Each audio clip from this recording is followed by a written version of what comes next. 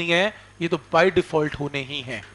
तो इसके बेस पे आपके जितने भी, जो अगर आप कोई भी कंपटीशन के एग्ज़ाम भी देखोगे तो बहुत ही बेसिक क्वेश्चन पूछे जाते हैं, आपको लगाना सही आना चाहिए जेड एक्स एल आर कैसे लगाना है, जो प्रैक्टिस से ही आएगा। ठीक? ये दो होमवर्क है, और एक शीट मैंने 88 नंबर दी थी। कितने लोगों ने ट्राई की? 88 खोलो। ठीक? देखो। 88 number sheet last time distribute की थी आरएमएस वाली। फ़ाइल में लगा लिया करो, फ़ाइल में लगाया, फ़ाइल लाया करो, फ़ाइल में जल्दी मिलती है। घर में लगा रहे हो ना फ़ाइल?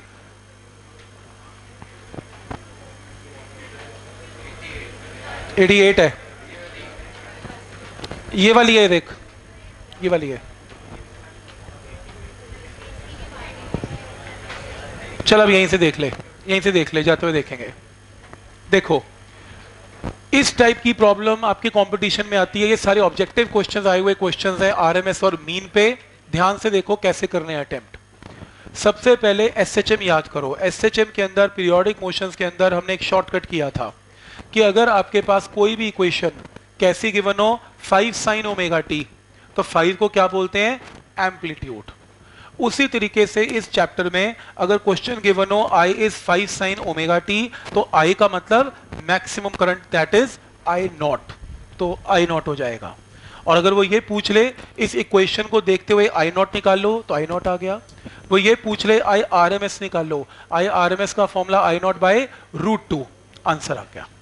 क्लियर है? अगर मान लो एस एच एम के अंदर, याद करो एक रिज़ल्ट आता था कि three sine omega t four cos omega t sine भी है कॉस भी है। और वाई की मैक्सिमम वैल्यू निकालनी है। तो अगर याद हो एस एच एम जिन्होंने किया हुआ है, पहली शीट के ऊपर यही न्यूमेरिकल है कि इसका एम्पलीट्यूड निकालने का शॉर्टकट बताया था साइन का कोफिशियंट का स्क्वायर और कॉस के कोफिशियंट का स्क्वायर का अंडर रूट जो कि क्या आएगा? फाइव उसी तरीके से सेम पैटर्न पे अगर आपको ईएमएफ गिवन हो साइन और कॉस में इसका कोफिशियंट E1 इसका E2 ये कुछ करने की ज़रूरत नहीं। मैक्सिमम ईएमएफ बोलो, क्या होगी? Under root of E one square plus E2 square EMF maximum आ गई E नॉट आ गया। आरएमएस वैल्यू क्या होगी? E naught by root two इसको रूट टू से क्या कर देना है? डिवाइड तो इस टाइप की प्रॉब्लम आपके कंपटीशन में आती है। जस्ट वन लाइनर कि आपने इसको चेक करना है और ईआरएमएस e निकालना है। फिर दूसरे टाइप की प्रॉब्लम जैसे ये फॉर नॉन मेडिकल है मेडिकल में नहीं आएगा, कि आई इज़ इक्वल टू या आएगा तो बहुत छोटा करके आएगा। इतनी बड़ी इंटीग्रेशन नहीं, छोटा करके आ सकती है। जैसे आई की वैल्यू टाइम के साथ चेंज हो रही है।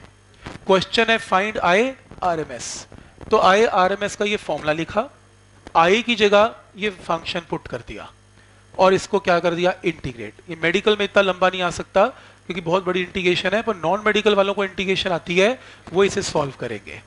मेडिकल के लोगों के ज़्यादा से ज़्यादा बहुत छोटा आएगा साइन कुछ भी साइन टू ओमेगा टी कुछ भी दे देगा मेथड विल रिमेन सेम उसी तरीके से, उसी तरीके से ये क्वेश्चन लास्ट टाइम हमने कर लिया था। ये क्वेश्चन आया हुआ क्वेश्चन है, मेरे ख्याल से नीट में या मेन से मुझे पता नहीं। ये देखो, ये पैटर्न ऐसे चेंज होता जा रहा है। ये करंट एक साइकिल दूसरा साइकिल तीसरा साइकिल ऐसे इनफाइनाइट साइकिल चलते जा रहे हैं। आपको बताना है कि एवरेज करंट क्या होगा? एवरेज करंट होता है, बात ध्यान इधर एवरेज करंट होता है total charge by total time एक साइकिल ले लो, एक साइकिल ले लो. टोटल चार्ज क्या होगा? इसके अंडर एरिया करंट और टाइम का जो एरिया होता है वो चार्ज होता है. इसका एरिया कैसे निकलेगा? Area of rectangle plus area of triangle divided by total time क्या है? टी तो यहाँ से total charge by total time answer can be calculated तो लॉजिक समझ में आ रहा है कोई भी अजीब तरीके का ग्राफ दे देगा और पैटर्न रिपीट करता जाएगा एक साइकिल लेना है उस साइकिल का charge upon total time will give average current ठीक? जो लास्ट क्वेश्चन है for non medical only medical वाले को कर, मेडिकल को करने की ज़रूरत नहीं है इसमें। नॉन मेडिकल वालों को कुछ भी लाइन की क्वेश्चन पे क्वेश्चन दे देगा। जैसे ये करंट है रिपीट होता जा रहा है ऐसे पैटर्न डॉटेड नहीं ये डार्क वाला। कहेगा, इसमें वी आर एम निकाल लो।